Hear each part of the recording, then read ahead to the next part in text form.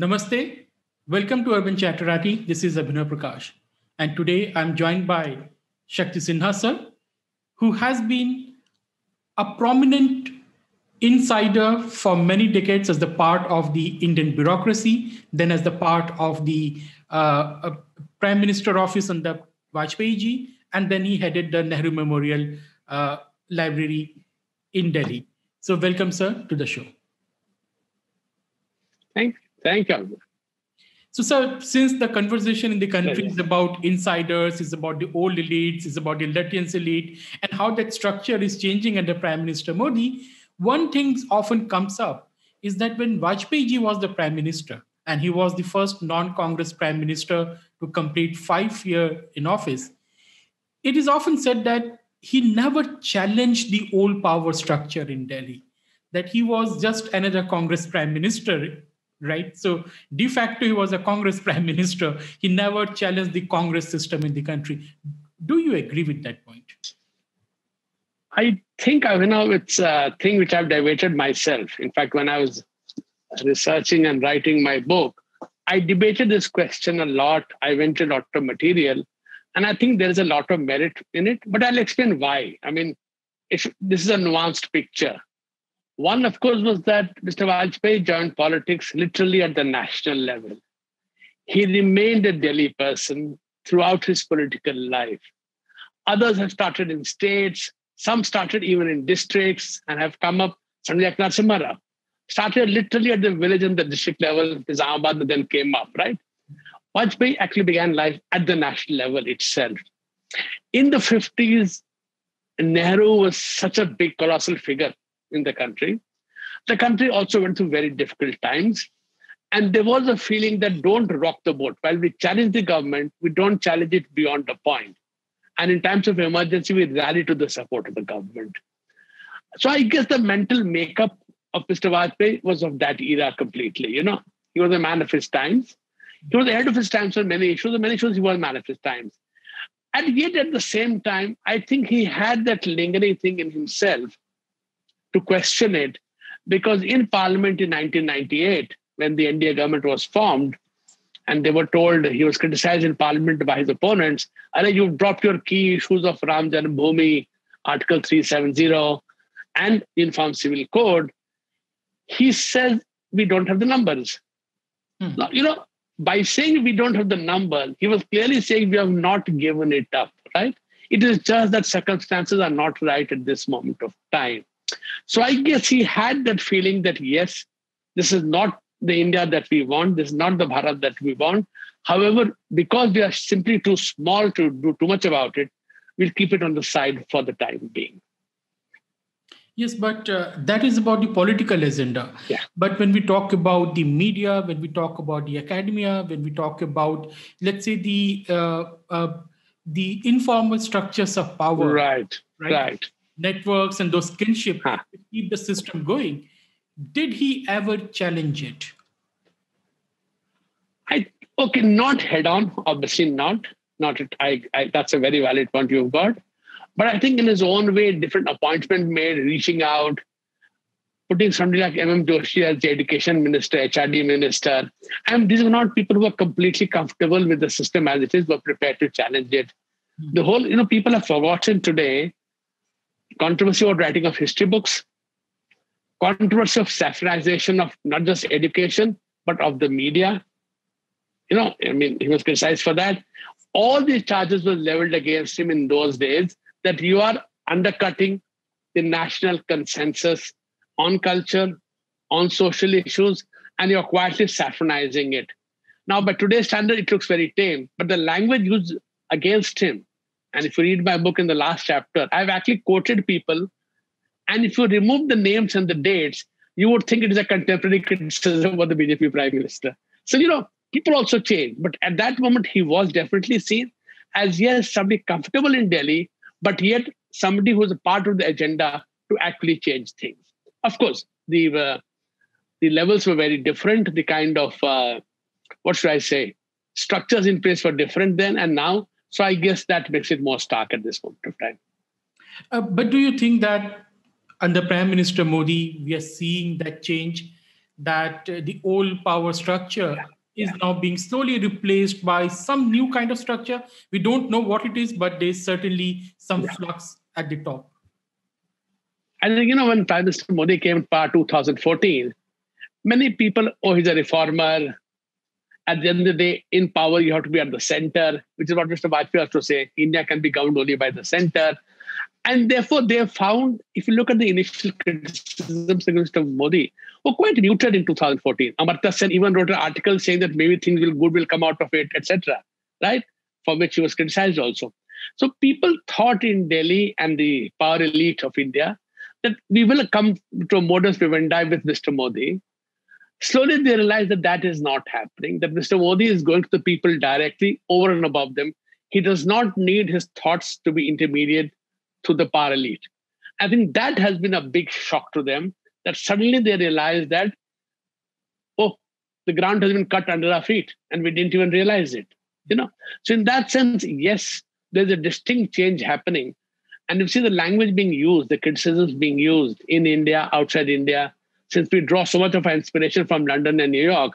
If you leave all that, since the language being used, and if you walk around the city and walk around the country and meet people, the two different worlds. The criticisms and the reality are two different worlds happening precisely because the old power elite has been simply cut out of the Indian system and they don't know what is going to happen. So they're thrashing about and finding all kinds of excuses, logic, reasoning to run down basically. Yes. So basically, it's the rage and fury which is being now heard across yeah, the world. Absolutely. That the complete rage. And the fear that the way this man is going at Juggernaut who wins every elections, my God, even in Bengal now, you know, the touching concern people have and impressed, suddenly they feel, oh my God, if this is permanent, then what happens to us? Mm-hmm. Earlier, governments came and governments went. So you had a hope of some revolving door after five years, right? Now that revolving door seems to be shut. And therefore the rage is all the more. Uh, as, as an another insider of the Lutyens' Delhi recently remarked, quoted someone, in fact, in his book that Modi has taken the excitement out of the Delhi's party you know that those uh, Bangalore party and the garden parties. Is it true, sir? Uh, in fact, I would go much further. You know, if we took out the excitement of the party, they can replace it with a better drink. I don't care. What is he has taken it out? he has taken out that lubricant which kept this the so-called power elites moving. Mm-hmm. That lubricant which came from being either part of the government or being associated with the government or being able to influence government making. Oh, let's make so and so minister telecom. Oh, let's make so and so minister this, or make this policy. That lubricant has suddenly gone away. Hindi mein kehte dukandari band ho gayi hai. That is a far greater uh, hit to them than the parties. Yes, the parties continue. They are depressed, no doubt. There's always New York to run to. But other than that, I think it has really fundamentally changed the city and hopefully parts of India now is the fact that old Dukandari, the old ways of doing business, backroom deals. It's not that everything is perfect now. Absolutely no. Nobody's case is that. But the fact is that model of cozy relationships have disappeared. But doesn't that have some side effect that you don't have now people to man your institutions because you have cut out the old cultural, economic, and uh, intellectual elite? So you don't have their replacement as of yet. So there's a crisis of governance, at least at the top institutions of this country. Would you agree to that point? Uh, see, there's a point to it. Let's be fair. There is a point to it. You know, elites don't change one on one completely. It's a slower process of changing. Vacuum every now and then. It's like, you know, when we fought for independence and the British said, we would love to give you independence, but you guys are not mature enough from independence. Fine. How do you get mature? If you have political power. Will you give political power? No. Why? Because you're not mature enough. There's a self-circular logic to it, right? Now, if you don't allow me to flourish, आप उभरने नहीं देंगे. And then so you're not experienced enough. You haven't presented papers. Excuse me, have you allowed me to participate in conferences? Have you sent me out to present papers? Are my papers being published in journals? No. And then you say, oh, you guys are not doing anything. So, you know, that the transition to move from that old system to a different system will take time. If you go to England of the 17th and 18th century, America of the late 19th century, it was much worse. They were called robber capitalism, in fact. It was so bad things were. Everything was up for sale. All government offices in the USA were up for sale. As less than little 120 years ago. So when transitions happen, these things do happen. There would be temporary breakdowns. There would be temporary failures. If you don't live with that, you never succeed in doing something big. Because if you look for incremental change all your life, all you'll get is small, minor increments here and there. And the kind of change that India deserves, that the Indian people deserve, the opportunities they deserve, that will never happen if we keep waiting for the old things to happen their own way. So I think risk taking was required. It has happened. It would be uneven. It would be jerky. I have to accept that change or evolution is not a picnic. So uh, I think we are, we are going to see many more years of chaos and flux because we are in this transition uh, process. But when we talk about the power structure of the country, and I'm talking about informal power structures, that the people who man the institutions yeah. and the bureaucracy, uh, you have seen uh, uh, this thing for a very long time as the part of the bureaucracy uh, and then in different institutions. Do you see some change in the social composition of the people at the top? Yeah, absolutely. If I go back and I'm old enough to remember politics of the 1960s, mm-hmm. yes, it was very clean and neat. Why it was clean and neat? Was a cozy club of people, right? Mm-hmm. It was not that it was corrupt free. It was not corruption free at all. Mm-hmm. In fact, by not letting people into the door, that's a, one of the biggest act of corruption in itself. The first movement toward change actually happened in the late 50s with Charan Singh's opposition to Nehru's industrialization policies, as early as that. But it kept being hammered down then selectively they were being absorbed into the system, very selectively, but being absorbed into this. In other words, you become like one of us, right? That transition, which happened after 77 in the 80s and then post Mandal and 91, has really democratized the Indian system far greater. Democratization would call chaos, absolutely. Once you know your hierarchies are broken down, once the people, the Dalits, and many of the OBC communities can vote on their own, can step out into the public space and not do what they are told, preferably stay at home on voting day. Those changes, when they happen, obviously chaos happens. But the overall result, if I see, if I look at the civil services today, hmm. overwhelming majority of the new entrants into civil services are people from the smaller cities of India, are largely from rural backgrounds, have written papers in their own language, and I'm not just saying Hindi. You know, the first actually internal rebellion against the old structures, the elitist structures, the metropolitan structure, was in the 50s when Chaudhry Charan Singh opposed Nehru's industrialization policy very strongly at the Congress session. He was in a small minority, but he raised the voice. Gradually, with time, these voices became more and more but individually or sometimes local groups were being co-opted absorbed into the system to make the system slightly broader but it was not systemic it was a clear case of co-opting to mm-hmm. just give you a greater stability but not really sharing power that i think with the emergency 77 elections particularly then in the 80s and then culminating in mandal and i would add even 1991 really changed the way politics was done in this country Suddenly, it became more democratic. Suddenly, initially the OBCs, and then from the late 80s, the Dalits started standing up. It led to temporary increases in violence because now these people are actually standing up and not keeping their place in the sun as they were supposed to keep. But it suddenly changed Indian politics. It changed Indian systems completely, administrative systems and otherwise. And therefore, the old, very dignified parliamentary sessions, which are not always very dignified, gave away to a raucous parliament of shouting and screaming and people walking out and running and calling names. Assemblies, it happened much more. People have thrown uh, mics at each other and chairs at each other.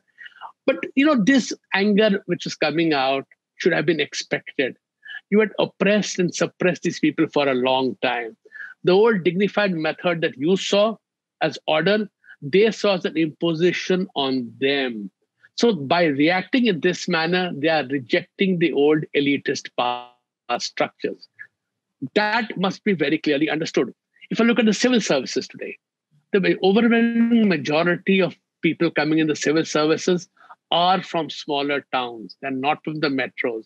They are not English medium, Hindi, Tamil, Bengali, Marathi.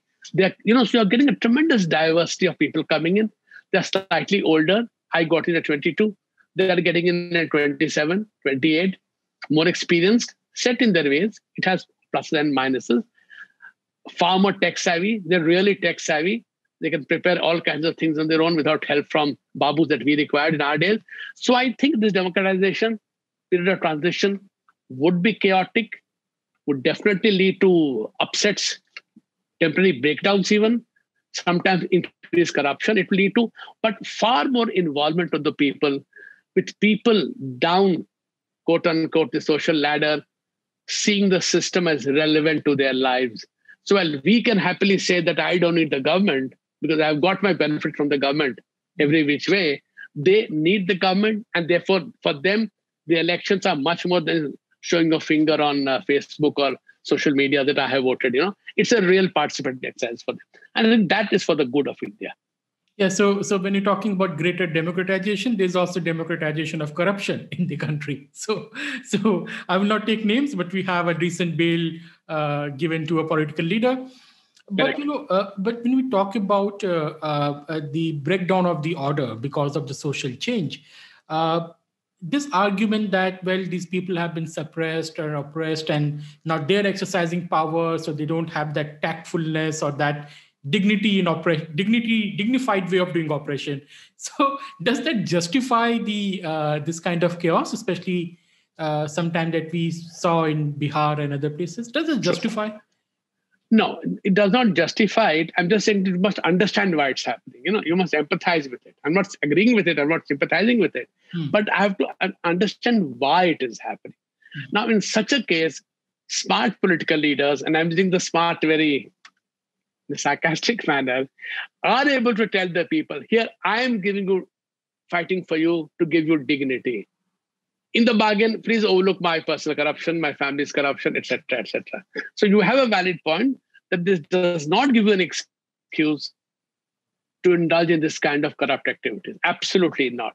What I'm simply saying is that if I look at the proportionality of everything, earlier 10 rupees was spent, now 10,000 rupees are being spent. So corruption becomes more obvious now.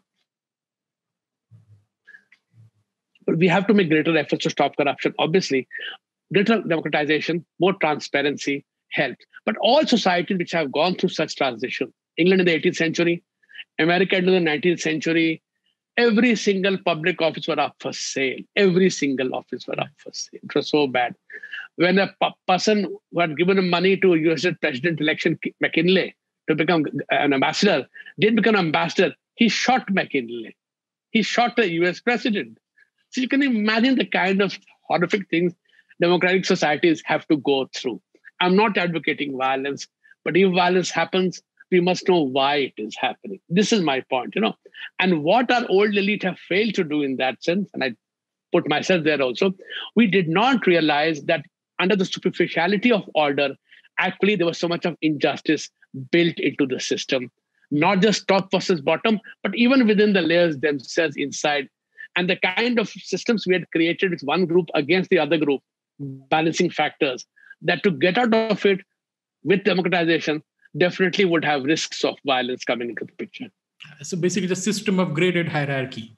So, yeah. uh, but when we talk about another very important uh, political, socio-political movement in the post-independent India is that of the rise of the BJP and the Hindutva movement. Yeah. How do you see the Hindutva? I'm not talking about the BJP per se, Hindutva yeah. as an ideology, where do you locate that in India's journey? It's a very interesting journey, the Hindutva journey, in the sense that, uh, see, it's centered around basically the RSS. Initially, there were other bodies also, Hindu Mahasabha actually, because Hindutva was first used by Savarkar, but the Hindu Mahasabha lost, lost its way somewhere and became irrelevant. It somebody embodied in the RSS is that it is a movement which is rooted inside society and yet wants to work to transform that society. It took its time getting its feet together. The assassination of Gandhi was a big setback to them, even though everybody later, including Patel and Nehru in their discussion, said, yeah, yeah, we know RSS is not involved, but there's a good chance to put them in their proper places, etc. You know, so it did put them in a massive amount of back thing. It took them a long time to recover, but I think in the 60s onwards, the famous alliance between Lohia and Deendayal Upadhyay in the 60s, which brought two disparate movements together for the simple purpose of challenging the hegemony of the Congress party and bring about social change. Or the then RSS chief was saying in 74, the asprishyata, if untouchability is not a sin, there is no sin. So the RSS has been part of society, and therefore in its effort to change society or make bring about changes, it doesn't want to be. This is an outsider speaking, okay? So I'm fully corrected by somebody insider. Does not seem to want to stay too far ahead of society also. And yet keep working in it to create a feeling of oneness. The unity of diversity the stress on the unity and not the diversity. It has its downsides. It is seen as therefore anti-minority even though again and again they have clarified that upasana paddhati is not our issue india's your motherland that is good enough for us you know but obviously, politically, it doesn't play out that simply, and people do tend to then, and some workers themselves also are very party to it. To be fair, there are enough people inside themselves also who are not very clear about these things. But if I look at the period over the last 30, 40 years, particularly, nobody could have predicted that this force would become such a strong force. Hmm. Yes, they would peak around, the political party would peak around 18, 20%, and that is about it. You know, but to cross 25 was across the Rubicon to political power on its own. And I think they have managed to do that by working within communities in a decentralized manner across the country. Mm-hmm. Now you have all these, as Badri Narayan's work, which you are very familiar with, you have these dozens of Dalit communities in UP varying in strength from 25,000 to 1 lakh. Now, 1 lakh spread over a state is absolutely insignificant. But to work amongst them, go into their racial memory and locate somebody whom they can all look up to, to give them the kind of self confidence that, yes, we too have had a glorious history. We can also now stand up for our own, you know. So while government support is required, no doubt, but I can stand up on my own. I think that is the kind of work that they have done. Or the case of the uh, 377, where no political party or social organization said anything. Dattaji said in an interview to Open Magazine that we don't condone homosexuality, but it is not the job of the police to enter the bedroom. You know, so this kind of nuanced thinking, which has developed over the years, obviously sometimes is out of sync with some of society. So it's not easy for them to push the argument. But I think overall, in 95 years, tremendous amount of achievement. So, so do you think the new cultural and social elites, uh, and because we already have political elites coming from RSS, but do you think that RSS will become the fulcrum of the new cultural and social elites in the system, replacing the old Nehruvian elites now? Are we are we going to have I'm a not elite in this country now? Yeah, no, I know. I was. It's a very good question, a difficult question, trick question. Uh, I don't think there'll be a replacement of one elite with another elite. You know, the fact that this is a vast country and the fact that even within the unity, you're able to see that individual subsections have some role of their own, which does not challenge the larger identity. You know, the ability to exist simultaneously with two different sets of identities, one a larger, the great tradition, the front yard as against the angan, and yet have the angan intact I think is very relevant. And if you have that in place properly and allow different thoughts to flourish locally, I think it would not be a replacement of one monolith by another monolith, but definitely much greater appreciation of India from Indian eyes. You know, without seeking validation, without finding out somebody else to tell you how good you are, we'll be able to see our strengths and our weaknesses. We have lots of weaknesses. We should study them, but we should study them with our point of view our frame, our framework, not left wing, right wing, conservative, liberal, none of which fit into traditional Indian circumstances, you know. So I think I hope it is not replacement of one elite. I don't see that happening also. Even within the RSS, the economic thinking, social thinking, there are different people speaking with different voices. So as long as the larger goal is the same, creating a larger Indian unity, I think you can afford to have lots of, you should have, in fact, lots of different thoughts flowing simultaneously. Yeah. You pointed out that we should have our own point of view, our own theoretical constructs. And what we often see that in the name of having this Indic point of view, uh, we see rejection of the uh, all the theories constructs which are supposed to be vested and then we're left with nothing. We're only left with the social orthodoxy in the country. That, you know, the caste is uh, foreign this is foreign we had nothing. We had this thing. And then you start justifying everything which was there in the Indian society. Uh, do you think there's a resurgence of social orthodoxy under the RSS BJP? There is, there is some resurgence of social orthodoxy of people, but if you read them carefully, you know that they're not serious. But on the other hand, there are enough more people who are pointing to richness, also pointing to potential problems, also so you know it's not a it's unmixed it's a mixed picture. It's not an unmixed picture. And the more we are able to get this mixed picture out to better appreciate ourselves you know. I agree with you. If you reject all frameworks you're in trouble. I only worry about the lazy categorization liberal i don't know conservative. I mean sometimes i really don't understand what it means. If a man on the religious extreme jihadi is referred to as a right wing jihadi is a right wing? Which definition is that you know? So we you know we become too lazy to really do that. That is what i meant.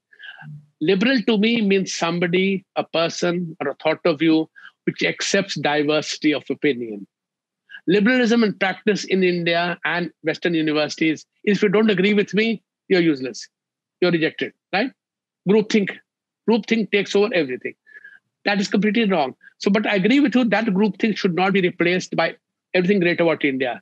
In which case, why are we going through all this if everything was great about India? I, of course, very good things that happened in India. But I'm sorry, very bad things have also happened in India. Maybe we didn't, our ancestors failed at different places. Accept it. And that is something we need to study. But if you study it in a defensive manner like today to prove a point, then you will tend to fall on social orthodoxy. If you do it with a great amount of confidence, you're prepared to accept your shortcomings more confidently with a greater sense of equanimity. Yeah, uh, but you know, when we talk about India, so uh, do you think that liberalism has failed in India? Unfortunately, I mean, I always thought of myself as a liberal. But because for me, how come you can think of yourself as a liberal? You serve in the Vajpayee's PMO. you were this fascist, apparently. because to me, a liberal accepts different points of view. I'm, I've, I'm curious. I do not accept the past as being only glorious or very bad. I have a critical, by critical, I mean a healthy, not a criticism, a critical attitude where I look for facts. I'm prepared to change my opinion. To me, that is liberal. But the moment liberalism now descends, and you agree today's liberals are happy to be called left and liberal together i mean left and liberalism are actually opposed to each other liberalism is about the individual left is about the group and the group rights shall prevail even if i have to kill 10 million of my citizens for the sake of the group i will kill 10 million or 20 million and you are happy to be a left liberal so indian liberals even western liberals unfortunately now apparently have lost their way completely. Tagore warned them against getting stuck in the dreary sands of time. They seem to have got stuck in those dreary sands of time by not being able to really contextualize their thinking in the changing circumstances of India. I mean, India has changed. On the other hand, the liberals will tell you the RSS is Brahmanical, etc. Then the one criticism, fine. Then we like Hindu orthodoxy because Hindu orthodoxy is very liberal. But no, Hindu orthodoxy is also Brahmanical. Excuse me, can you get your facts together? Traditional Hinduism, Acharya Tulsidas, Ramcharitmanas, Hanuman Chalisa. That's not Brahmanical at all, right? I mean, get your all these liberals who were against caste. Oh, we never discussed caste when we were growing up we all post caste. Of course, we are post caste because we're all upper caste, right? We can afford to be post caste. I see BJP. What is it doing in Bengal? It's bringing in caste. My God! And yet, in the UP elections, they were thrilled that between the everybody suddenly discovered that the Yadavs and the non-Yadavs OBCs and their Jatavs and non-Jatavs, Dalits, they found out very excitedly that they will come together and defeat the BJP. Suddenly caste becomes good to defeat the BJP. I mean, if you have such attitudes, how can I accept liberalism as succeeding in India? You know, and I think I blame the liberals precisely for that. Your lack of clarity. Find me the person, I'll find you the argument. If that is your logic, the logic, sir, will fail. Come to it. Yes, this the government has done right. This the government has done wrong. Fine, we'll accept it because the point is no government will not make a mistake. Absolutely. But no government only makes mistakes. You know, so get your uh, balance together, Santulan. Without Santulan, I think you know you lose your thinking process. That's a tragedy. That's a tragedy for India, I would say, because India needs good liberals who can question, not accept orthodoxy. Basically, uh, they as of now they they are betting on Mamta Banerjee to save democracy in India, and that itself is quite laughable. but coming to the second last question to you, sir, uh, how do you see the public intellectuals of India, the eminent intellectuals, eminent historians? Did they fail to do their duty, or they were never eminent in the first place? They were just a bunch of court historians and cabal who just occupied power and uh, derived legitimacy from that power. Now they have kind of lost it.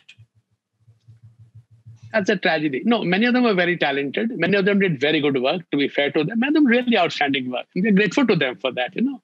Excellent good work they did. I may not agree with all of it, but fine. You were actually probing, right? As you were probing, it was fine. Then in the late 60s, when Mrs. Gandhi decides to build an alliance with the left, creates the Indian Council of Historical Research, Indian Council of Social Science Research, JNU comes up. So I start controlling now what's going to happen. I completely change the discourse, shifted this way. And if you are with me, fine, everything is forgiven. If you're not with me, I'll ensure you do not get one rupee in public funding. You will not get a job in a university. So when you reach that stage, then obviously these eminent intellectuals who are happy to be co-opted stop being eminent or intellectuals at that point of time. They become simply rent seekers. And I think that is where the tragedy was. India definitely needs good intellectuals, public intellectuals. I'm glad you raised the term. People who are prepared to speak the truth, people who are prepared to take a long view also. You know, don't be reactive. You see something happening, one person lynched, terrible. Every violence is bad. But the lynch person is sadhu, suddenly there's no reaction. You know, it happens in Maharashtra, nobody bothers. Or two sadhus are killed. It's bad luck, you know that kind of hypocrisy, if you practice, what kind of public intellectual are you? You should be the conscience keeper of society. Tell us, be frank with us. And in this country, we've always respected people who have spoken the truth, respected people who have criticized the government. They've all been treated very well. Nobody has been stoned to death for criticizing the king, right? We don't accept, we accept these things. Play that part honestly. But the moment you get seduced by ease, the office's looker, access to resources, foreign trip, ICCR fellowship, you name it, fellowship at Nehru Memorial, the moment you get seduced by all this, then you have sacrificed, you have given away a very important part of your intellectual life, which is your brain and your thinking power. And that is where I think our intellectuals have failed us. And because, uh, unfortunately, on, on the other side, we have not been able to develop a good body of scholars to really put it out in a very strong language, the truth, and not fall for these small little things of what a great people we've always have been, and we were flying rockets, etc. Yes, we had tremendous medical advantages, discipline. The British have reported that after the Second Mysore War, some British major had his nose cut off, and the Indian surgeon helped put his nose back. This is recorded by the British, not by you and me, right? Distinguish facts put it out what we could do. Why every village in India could forge iron. Everywhere in the country, we were forging iron till the early part of the 20th century. Today, you are left nothing. So you have lost so much. Why? Because we are not studying ourselves critically. We are not studying ourselves with curious mind. So I think public intellect have a very important role to play in a young country like India. We need what 26. We really need our public intellectuals to be good, honest, say that the emperor has no clothes where required, but don't keep abusing the emperor, even when the emperor has clothes.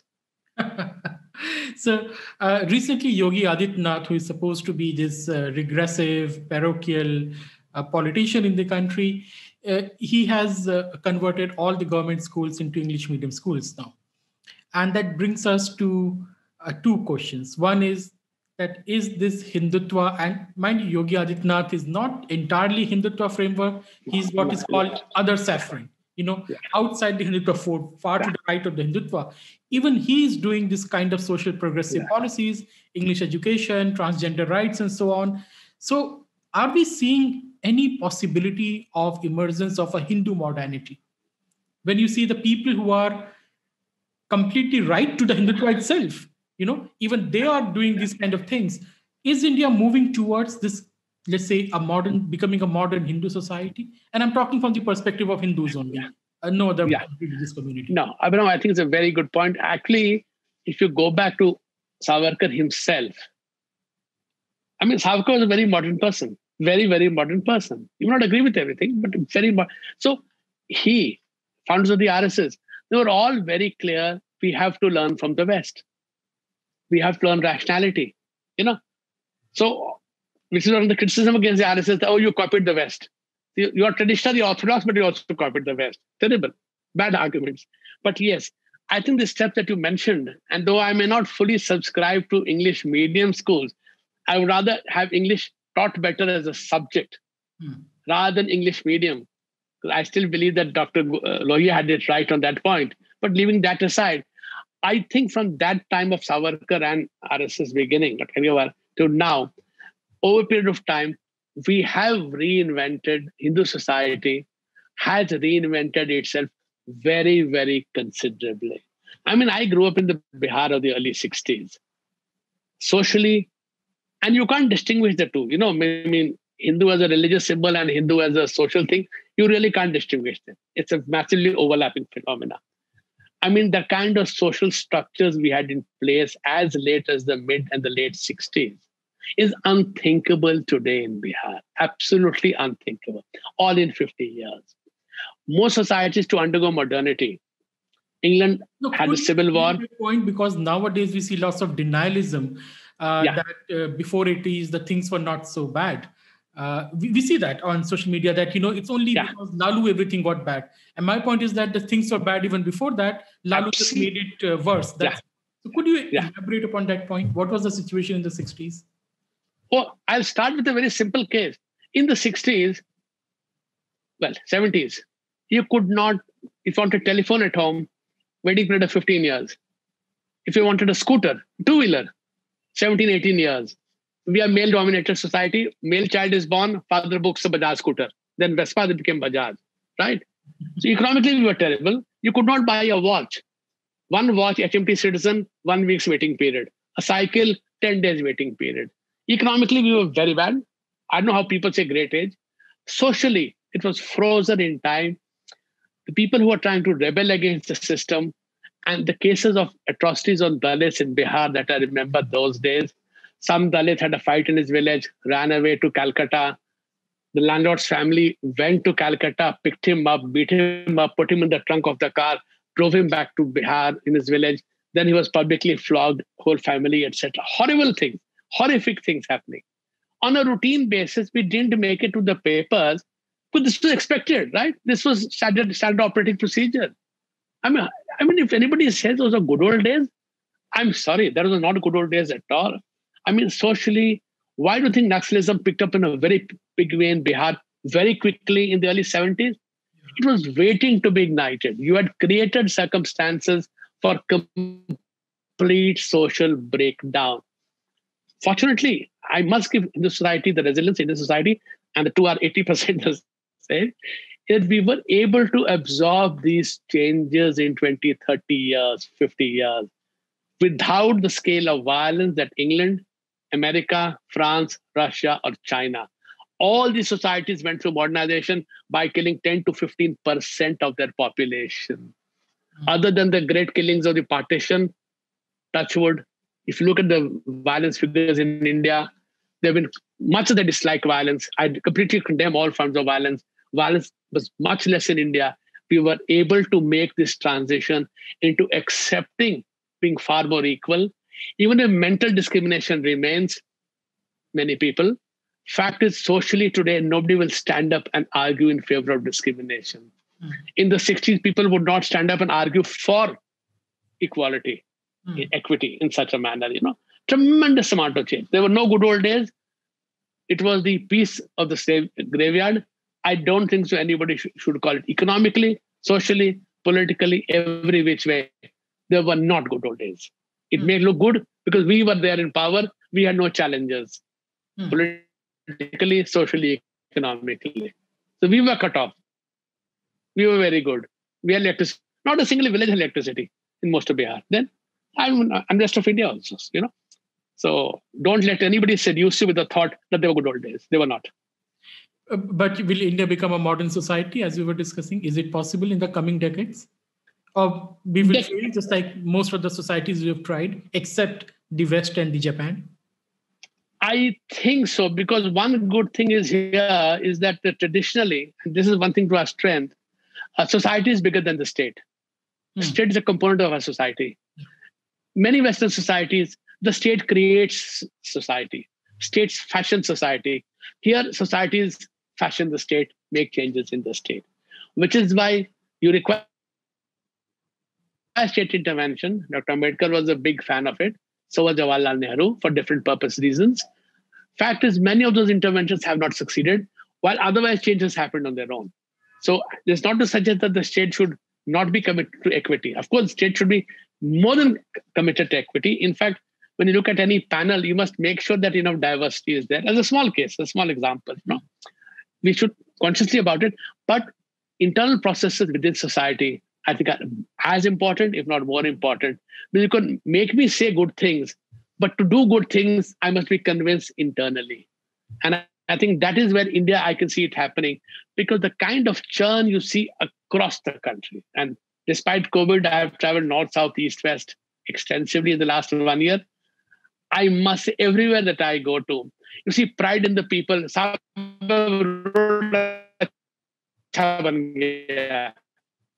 अब वहां जाने में कितना लगता चार घंटा लगता है you know that kind of now showing mm. which I think is a very good harbinger of change. Excellent, sir. So uh, we must end here now because we have to keep something to discuss in the next round when we will invite you. But thank you, sir, for enlightening us. It's always a pleasure to talk to you, sir. Thank you. Thank you for having me. It's a great pleasure listening to you all the time and now talking to you also. Thank you, sir. And thank you, audience, for listening to us. Please subscribe to the channel and join as the member if you like. See you soon.